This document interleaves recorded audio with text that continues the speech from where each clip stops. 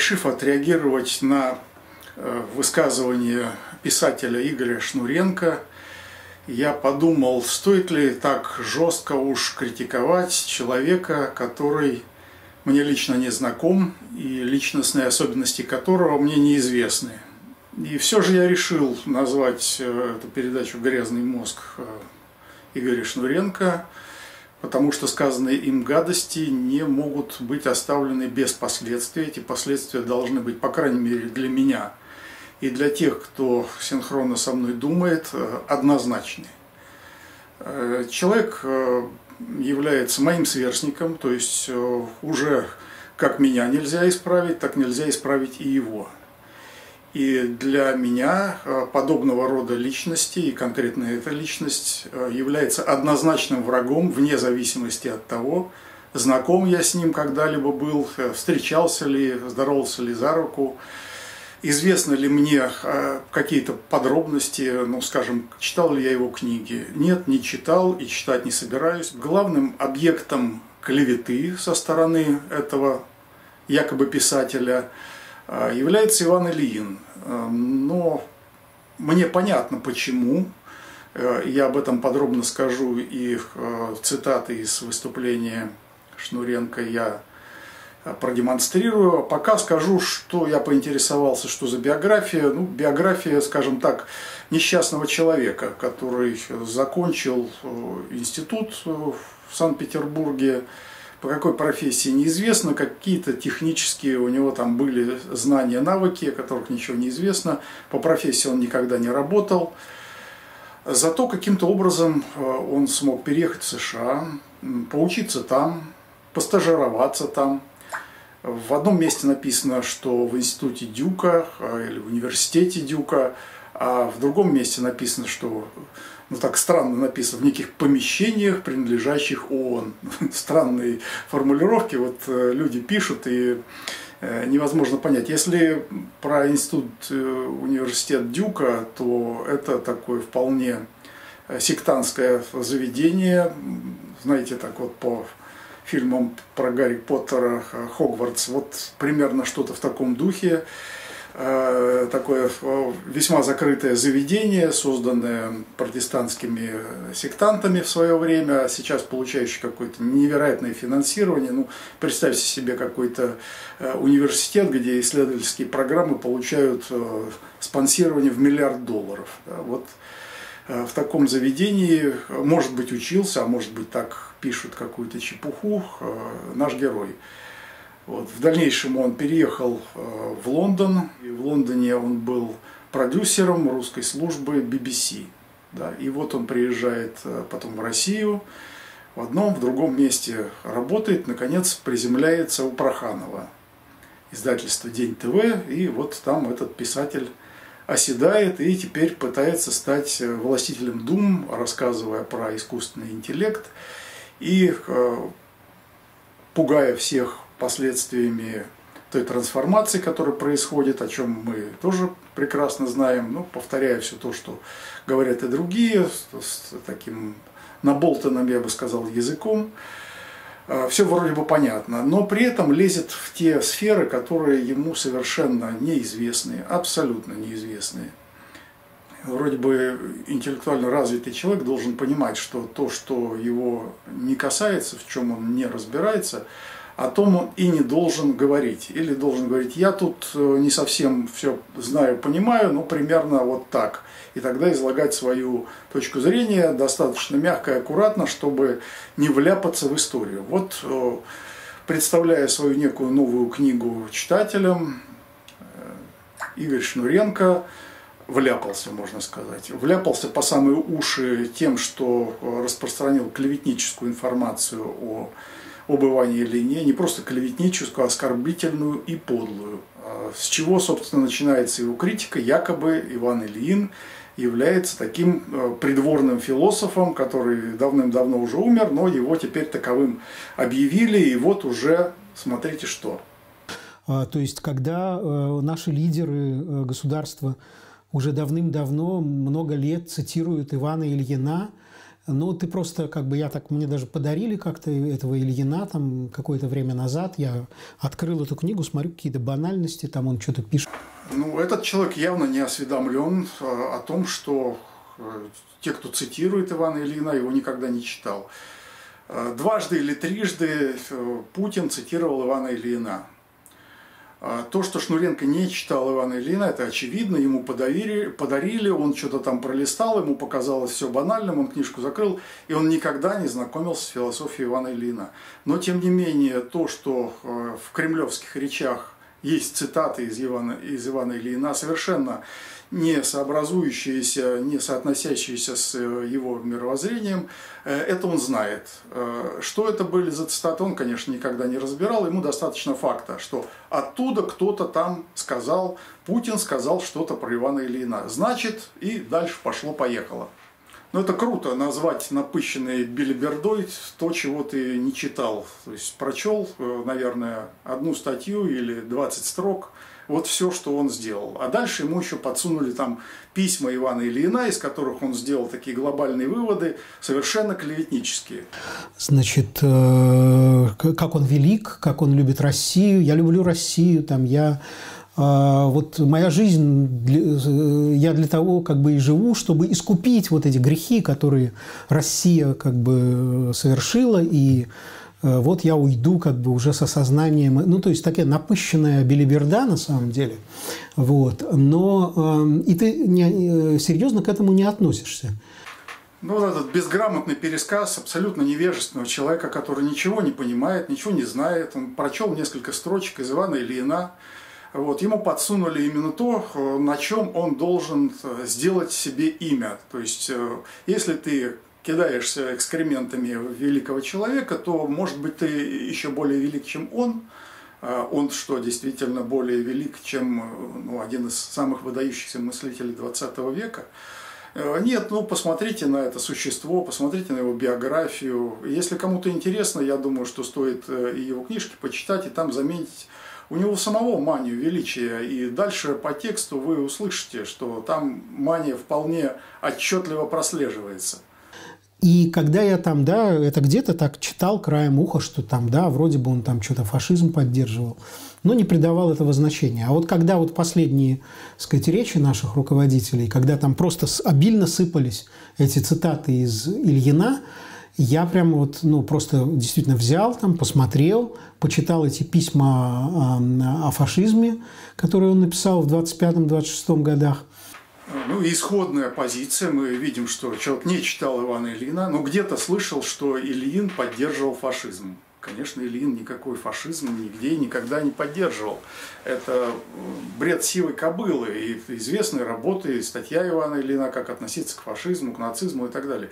Э, те, кто действительно знакомился хотя бы поверхностно с э, философией Ивана Ильина, прекрасно знает, что это за человек и что к фашизму или нацизму, естественно, никакого отношения он не имел. И если у него и были какие-то там иллюзии, то они были общеевропейские. Он жил в изгнании, в эмиграции в Европе, и определенные иллюзии питали абсолютно все. То есть не было таких э, э, действительно значимых философов консервативного толка, которые бы не испытывали иллюзии по поводу э, гитлеровского режима Э, и вся Европа, по сути дела, была сторонником этого режима, и не случайно этот режим захватил, можно сказать, всю европейскую территорию. Вот. И э, когда вот этот, э, это существо с грязными мозгами кидается экскрементами в Ивана Ильина, то вполне понятно, что э, его представление об истории Э, носит весьма превратный характер, и он, видимо, считает, что постфактум можно быть э, мудрее кого угодно. Э, любого мыслителя прошлого можно взять и уличить его в том, что он в чем-то был неправ. Ну, вот этим человеком явно руководят, ему специально подложили определенные тексты, чтобы он вышел и вот наговорил этих гадостей, которые не имеют отношения к той книжке, которую он представляет, но он хочет представить, что все, весь негатив, который мы видим вокруг себя, это и есть фашизм. В речи обличителей современного там, россиянского или каких-то других европейских режимов слово «фашизм» – это просто ругательство. В нем нет никакого содержания. Это просто ругательство. Что такое фашизм?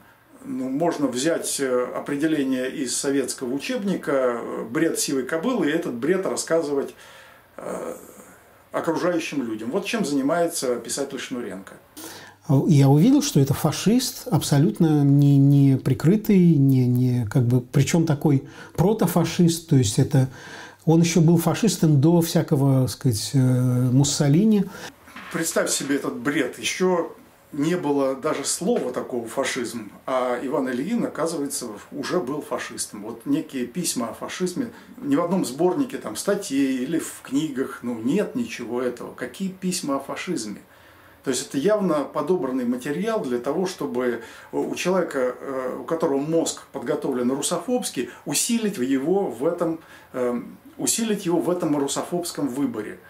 Он именно этим и занимается, распространяя клевету э, про Ивана Ильина, э, это существо и занимается не просто клеветой на великого русского философа, а клеветой на Россию, клеветой на русское мировоззрение. Это стопроцентный русофоб, который э, несколько умнее других, кто просто поносит русский народ, Россию, исторические традиции, э, этот пойдет на это, но несколько позже. Вот сейчас его э, раскрутка происходит, как раскручивался там Делягин, или раскручивался там Максим Шевченко, или Максим Калашников. Вот они раскручиваются, их русофобия выпирает ну, не сразу, а потом только, как бы, реализуется сценарий, и э, это существо э, свой сценарий затевает вот таким образом, то есть э, представляет книжку там об искусственном интеллекте, а говорит целый поток мерзостей о русском национальном мировоззрении. То есть это стопроцентная русофобия, стопроцентная.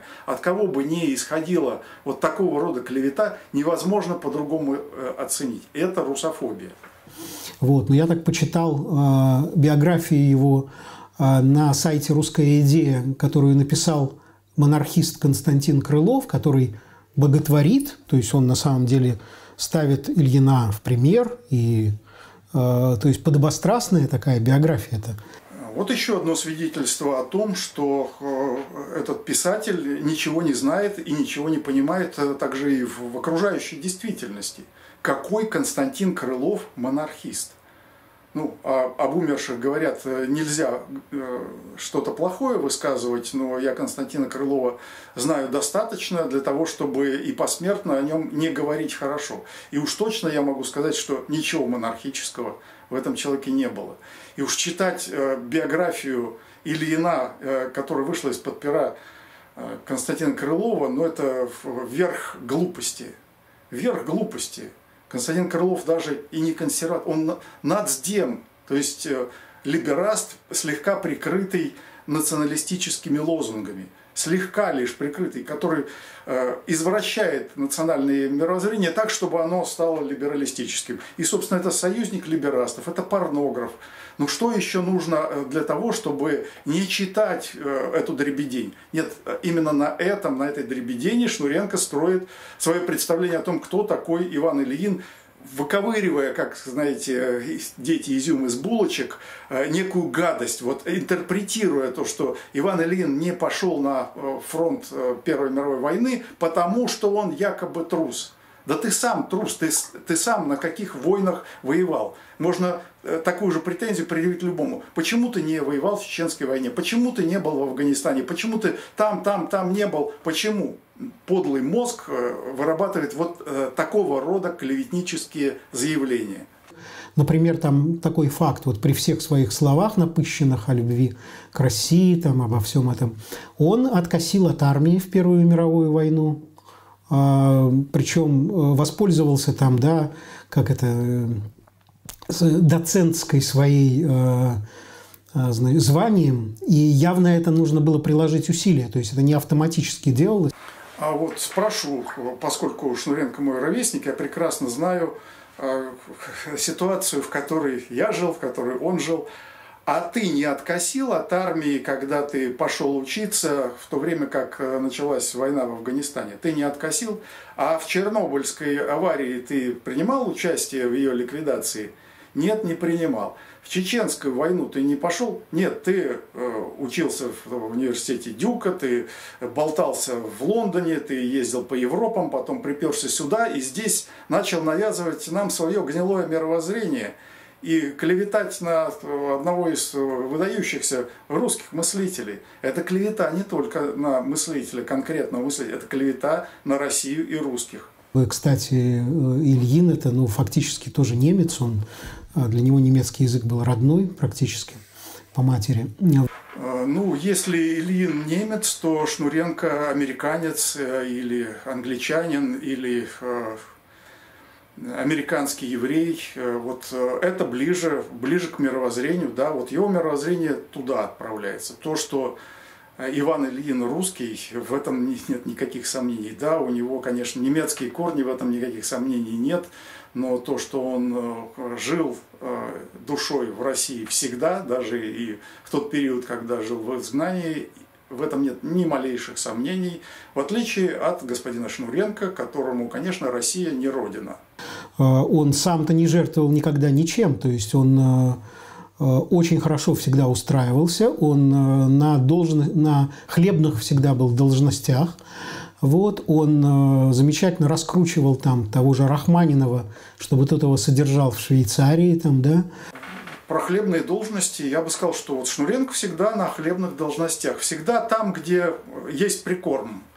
Вот. Э, а Иван Ильин всегда жил крайне скромно, крайне скромно и никаких э, богатств никогда не имел. Э, никакой славы не имел до тех пор, пока его работы не были изданы в России в начале 90-х годов. Мы, можно сказать, открыли для себя этого философа, а теперь вот открываем негодяев, которые публикуют клевету на него. К сожалению, это не только вот это вот либералистическое э, с красно-бурым оттенком существо, но и в среде русских консерваторов, якобы консерваторов, тоже такое вот такое левацкое извращение возникает и начинают э, подлости писать э, о, об Иване Ильине. Да более того, он раскрутил Гитлера, чтобы тот его назначил там, да, директором русского института вместо еврея Франка, который, значит, был до него, да, пожалуйста. Причем это типичная интрига для начала правления Гитлера, 1934 год, когда, так сказать, э, а, были провозглашены, как бы э, постепенно начали вводиться новые расовые законы. Я уверен совершенно, что Гитлер даже не знал о существовании Ивана Ильина, чтобы он его куда-то назначил. Гитлер назначил Ильина, вы, ты вообще с головой-то дружишь, так, как соотношение фигур там того времени, ну, грязный мозг вот так работает. Так работает грязный мозг. Вся Германия тогда вот так интриговала, чтобы занять места, э, на, на, сказать, накатать донос или там, да, сделать так, чтобы сказать, кого-то выгнали и стать на его место. Вот, то есть человек абсолютно беспринципный. Ну, просто чудовищная подлость. Просто чудовищная подлость обвинять Ивана Ильина в том, что он воспользовался расовыми законами. Расовые законы не он вводил, и не от, э, не от него все это зависело. И э, там Семен Франк по происхождению еврей, э, а по жизни русский философ, э, да, не мог в гитлеровской Германии, не мог занимать никаких постов, не мог. И сказать Ильину, что он, оказывается, своим расовым происхождением, оказывается виноват в том, что Франк был удален с поста Русского института. Но как такой шизофренический бред можно выносить на публику? Это же абсолютный, вот, абсолютный аморализм. Вот либо это шизофрения, то есть либо человек болен, и тогда его надо лечить, либо это абсолютный аморализм. Читаешь просто его панигирики по отношению к Муссолини. Да не писал никаких панигириков э, Ильин в адрес Муссолини. Не писал.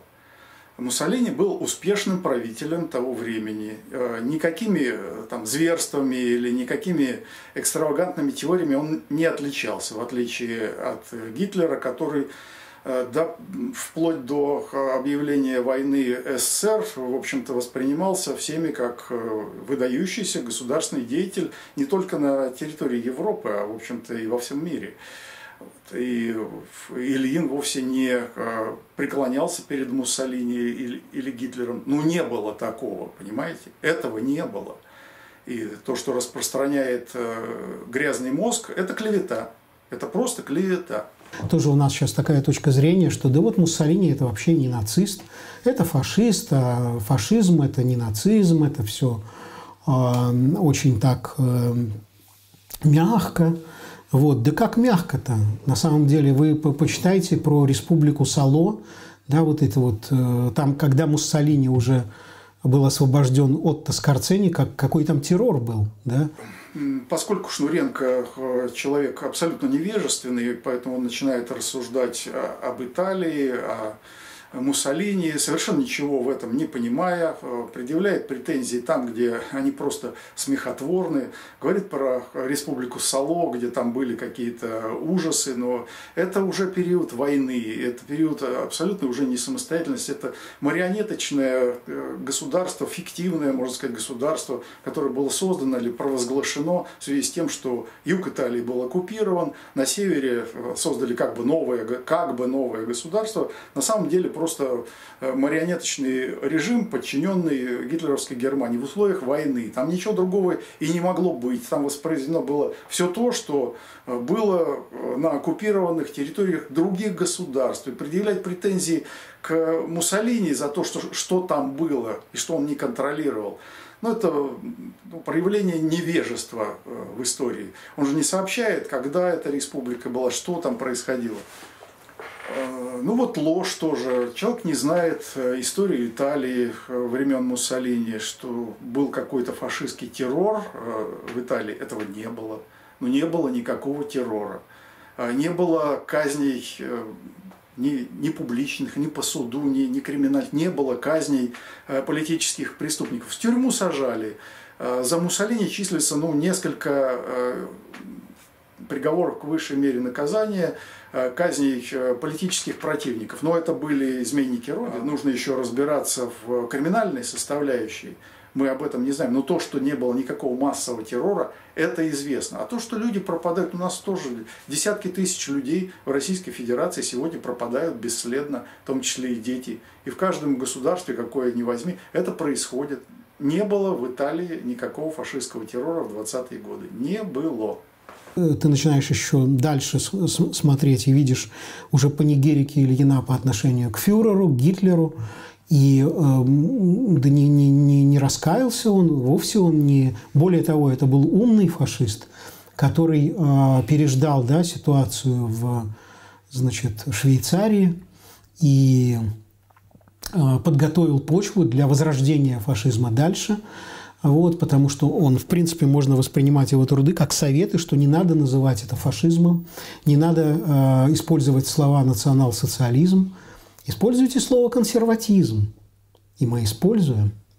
Вот. И, в общем, э, то есть ты, и ты видишь, что, в принципе, когда шла вот эта последние 30 лет, мне кажется, вот выстраивалось как раз такое вот такое э, тихой сапой подпольно там создание такого фашистского государства – вот и раскрывается замысел. То есть надо назвать фашизмом вообще все русское мировоззрение. А именно консервативное мировоззрение, консерватизм в политике, это и есть национализм. И все это, э, вот этот э, наймит э, тайной краснолибералистической секты и пытается навязать нам, навязать представление обычным людям, что консерватизм – это и есть фашизм. А, а, ну, точно так же, как Кремль, ведь они же рассуждают э, точно так же. Есть либерализм, есть коммунизм, все остальное фашизм. То есть нет и не может быть национального мировоззрения, которое бы они не хотели репрессировать самым жестоким образом. И вот э, это существо с грязным мозгом нацелено именно на это, на то, чтобы дискриминировать и в конце концов просто уничтожить э, людей с русским национальным мировоззрением которая выражена наиболее ярко, наиболее точно, наиболее афористично, я бы сказал, э, Иваном Ильиным. А вот этот грязный мозг, он же не просто действует, он э, как бы выражает интересы грязных людей, которые, обвиняя других в фашизме, готовит террористический режим. Ведь это же все птенцы гнезда Проханова, где сталинизм превозносится как э, высшее достижение человечества. То есть истребление, массовое истребление русских людей – это правильно. А вот фашизм Муссолини – это вот то, что, то, что мы, русские консерваторы, вот те позиции, которые мы занимаем, вот это э, они нам предъявляют. То есть мы основываемся на мировоззрении Ивана Ильина. Мы видим в э, книжке «Доктрина фашизма» не видим там ни антисемитизма, ни призывов к массовым казням, ни э, расизма, ничего, кроме консервативного мировоззрения. А это существо видит. Это существо видит, потому что поэтому э, он э, претендует на звание идеолога некоего э, антифашистского режима, который замучает миллионы русских людей. Вот на что претендует грязный мозг. У него, конечно, обломится, и талантов недостаточно, и история в эту сторону уже не пойдет, это совершенно ясно. То есть русские либо погибнут вообще целиком как народ, исчезнут, но такого режима уже не будет, не будет, не будет вот этой э, красной сволочи, красного большевизма, э, который э, будет терзать и миллионами на тот свет ежегодно отправлять русских людей. Не будет. Но претензии на это здесь мы видим.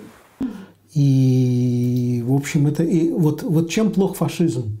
Зубы его вот вытаскиваются с огромным трудом. Вот посеяны они, вот эти вот Муссолини посеял эти зубы дракона, и ты прям вот, ты можешь там думать, что все уже с этим покончено, а нет.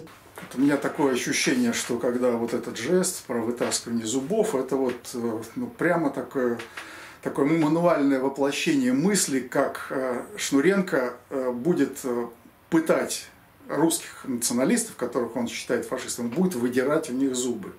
Вот у него прямо даже руки как-то чешутся и тянутся к этому. Допустим, фашистская Германия – это была, так сказать, такая вот главное фашистское государство. Остальные фашистские государства были э, вассалами, сателлитами и вот либералистическая мысль, она нацелена на то, чтобы государства не было вообще. И здесь мы тоже видим проявление того же самого мировоззрения. Государство должно быть уничтожено, ибо любое государство есть фашизм.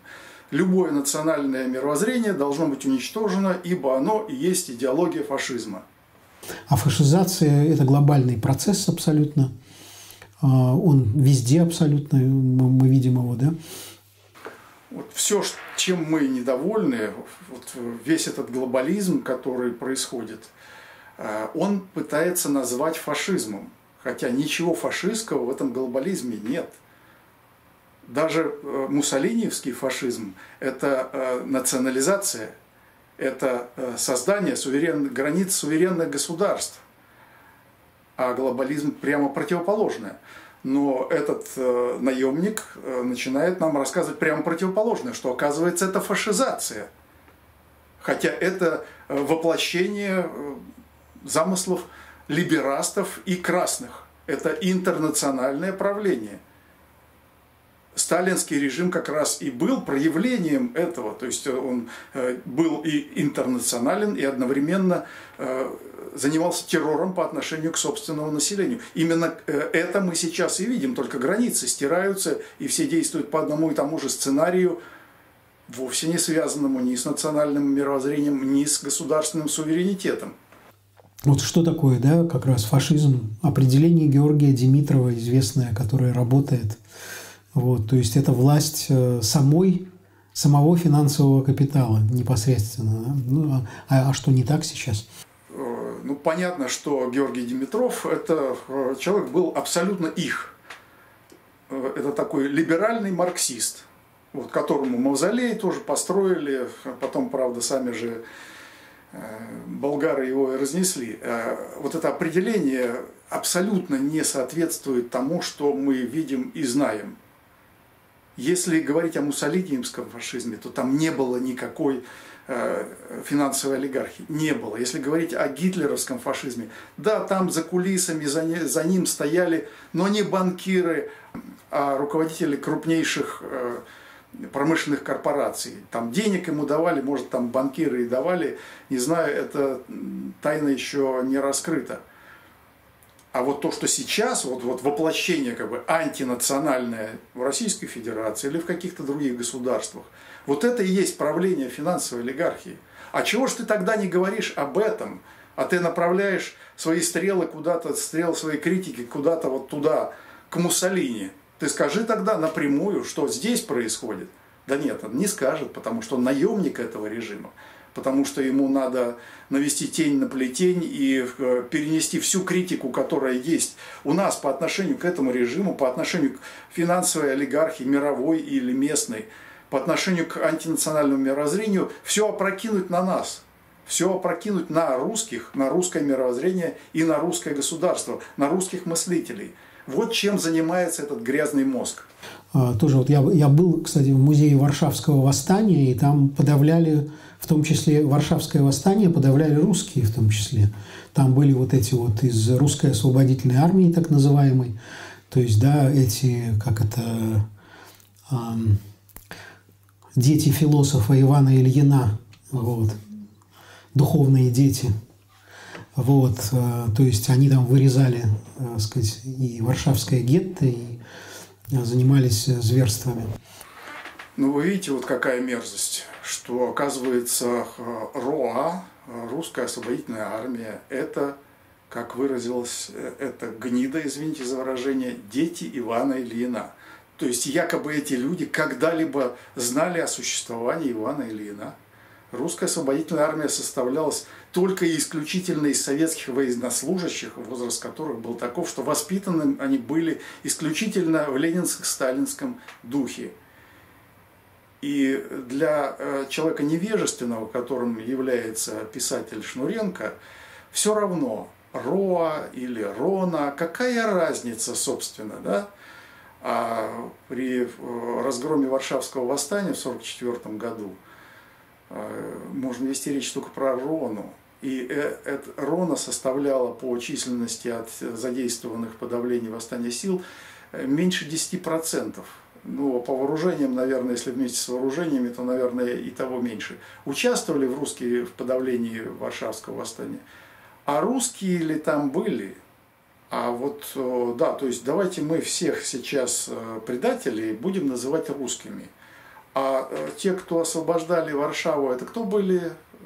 А это были не русские, да, это были совет... советские освобождали Варшаву, а русские участвовали в подавлении восстания чьем восстание, чьего восстания, армия Краева, армия Людова, вы понимаете, что это были несколько разные группировки. Эти подняли восстание. Для чего? Для чего было поднято Варшавское восстание? Ну, естественно, невежда этого не знает. Оно было поднято для того, чтобы э, захватить власть раньше, чем придут советские войска. И утвердить э, в Варшаве правительство, которое быстренько признает там, Великобритания, США и так далее. И э, Польша в целом останется вне, уже понятно, куда катилась в 1944 году война. Польша тогда останется э, под контролем вот этих сил, западных сил. Так Шнуренко это что, агент ЦРУ, что ли, или Ми-6? В принципе, нетрудно его в этом заподозрить он э, вот эту сторону, что ли, поддерживает, я не понимаю. И дальше он э, тоже, поскольку человек невежественный, он не понимает разницы между Варшавским восстанием и уничтожением Варшавского гетто. И он не понимает, что в уничтожении Варшавского гетто э, ни Ро, ни Рона не участвовали, не принимали никакого участия. Но здесь все в кучу свалить, и другие невежественные люди все это принимают свою голову, у них возникает вот такое ощущение, какие же плохие русские люди, вот, понимаете, Варшавское гетто уничтожили, и, э, и все эти люди, это вот русский человек, действительно русский человек в своем мировоззрении тождествен Ивану Ильину. Ну, настолько, насколько он способен это мировоззрение в себя принять. А, и вот такие люди, ну вот они, оказывается, разрушили Варшавское гетто. Ну, если кто-то поинтересуется варшавским гетто, что там происходило, кто там занимался его зачисткой, э, собственно, собственная полиция. Что такое вообще гетто? Э, люди не понимают, они думают, что это концлагерь. Да нет, это обособленная э, иудейская, еврейская община, которая хочет жить самостоятельно, но потом оказывается, что самостоятельно жить не может. Надо заниматься там какими-то спекуляциями, куплей, продажей, а чтобы обеспечить себя, вот Варшавское гетто не смогло. В одной из моих книг о по поводу Варшавского гетто записан. Да, вот э, в свое время у меня вышла книжка «Холокостеры», которая, конечно, э, будет в глазах э, вот этого существа фашизмом, просто изложение фактов для него будет фашизмом. И если люди здравые возьмут тут, прочтут Варшавское гетто, пороки и подлоги. Э, исторический подлог. Э, чем было Варшавское гетто, никому не известно. Главное, что его нацисты уничтожили, всех якобы поубивали. Как там и что происходило, что там было, был голод, чума и так далее. А им предоставили возможность самим справляться. Ну, вы хотите отдельно, пожалуйста, живите отдельно от всех остальных. Только э, границы на замке. Вот когда граница на замке, оказывается, самоорганизация в этой среде нулевая до такой степени, что там трупы на улицах валяются. Завершая, скажу, что русское мировоззрение всегда будет подвергаться клеветническим нападкам со стороны левачья, со стороны либерастов. А в общем-то это одно и то же, в одном и том же мозге, как мы видим в выступлении этого писателя. Все свалено в кучу, в одной куче все лежит, такая большая Э, большая навозная куча, составленная из э, переработанных каких-то фрагментов, случайно услышанных где-то устно или случайно прочтенных нескольких строчках. Вот тут все, все обломки, все лежат здесь.